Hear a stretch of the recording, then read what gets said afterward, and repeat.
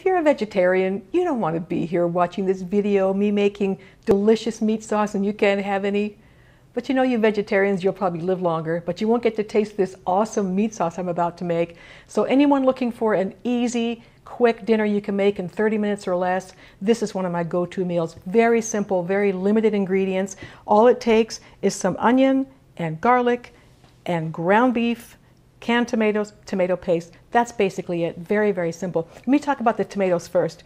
Um, I, I, always think the best flavor comes from plum tomatoes or San Marzano tomatoes, and I use just plain canned tomatoes. I always puree them in a food processor. You can also do it in a, in a blender, but you have to puree it to get a really beautiful smooth meat sauce. So uh, I'm going to do this one can, and you know I'm only opening it because I got a brand new red can opener, right?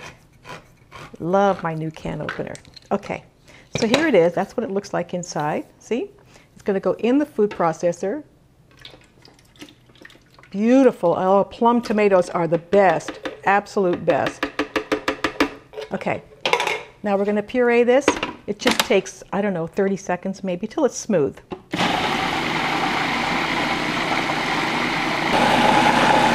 Okay, it looks pretty smooth. Yep, nice and smooth. We take it off the processor, have it on standby. I'll move this out of the way so you can see. And now we're going to start cooking the sauce. It's really, really quick. I've got the pan, while I was pureeing, I just started my pan to heat it up. And you put in about two teaspoons of olive oil. And here's the thing, don't skimp on the oil because Tomatoes, especially cooked tomatoes, are very high in lycopene, which is a cancer protector, but you get a lot more of it if there's some fat in there. So anytime you cook tomatoes, try to have a little bit of fat. Of course, olive oil is the heart healthiest fat around. So about medium high temperature, you're going to heat up the oil. I think it's pretty much heated. It's pretty loose already.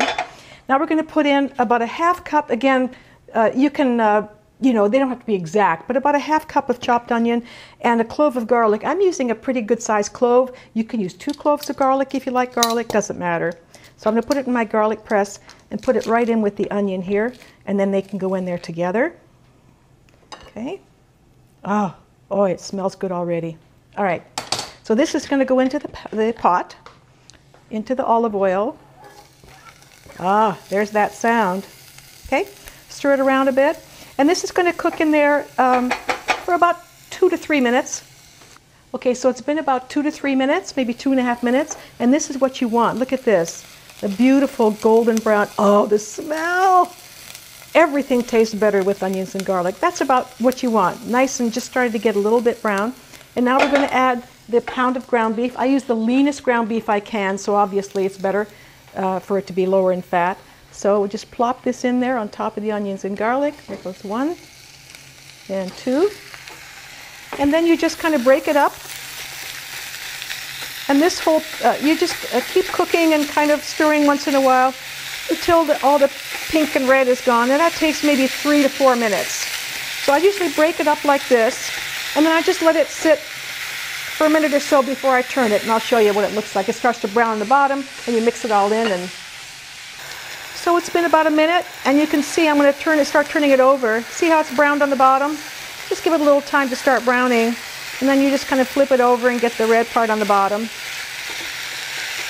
And after another minute or so, you just keep stirring and stirring, and it'll be all ready for the, for the tomatoes. All right, three to four minutes is all it takes. And if you can see, it's pretty much, I've been stirring it. You kind of stir it, press it down a little bit, stir it around pink's mostly gone, nice and browned. Now we're going to add the tomato, the, uh, the pureed tomato, and I'll try and do it to show you how it comes out. Look at this. Ah. Oh, this smooth, lovely tomato. And then two tablespoons of tomato paste.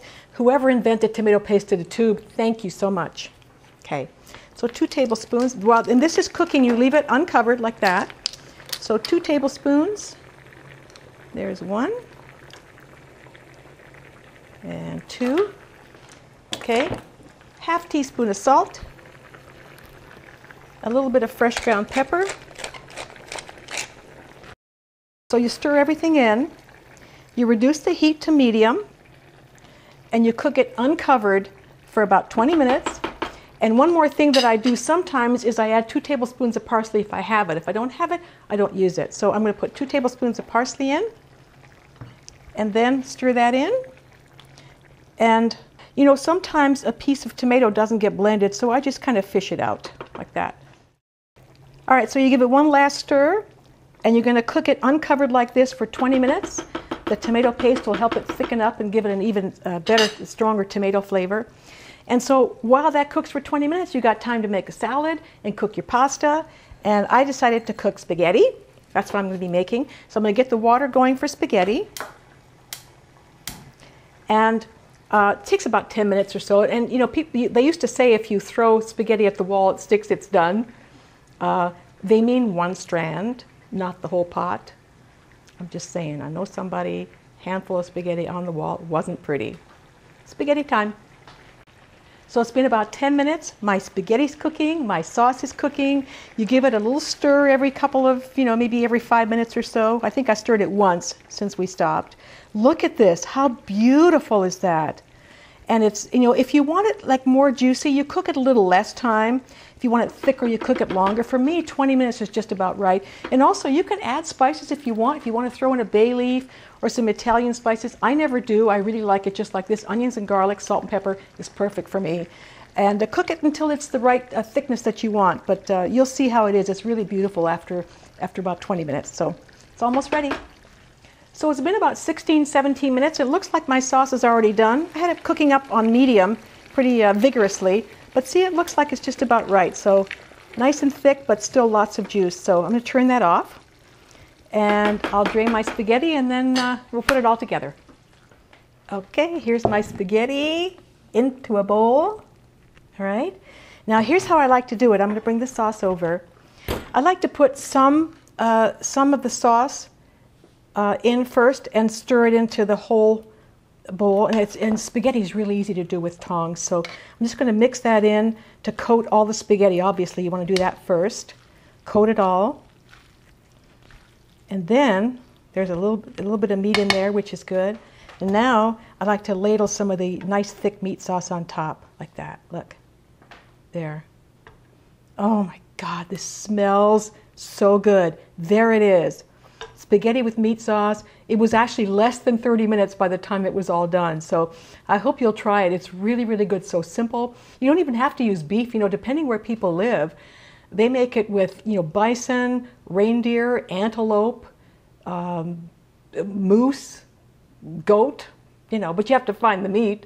I mean, if I went to my butcher and I said, you know, can I get a pound of goat? He would say, I don't have any, but I can get your goat. Get your goat.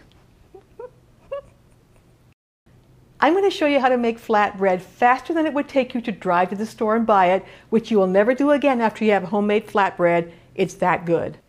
You know, at my house at Thanksgiving, everyone expresses their gratitude before dinner. It's usually something like, we're grateful for our health, our family and friends, and Jenny's pumpkin pie, because it is awesome.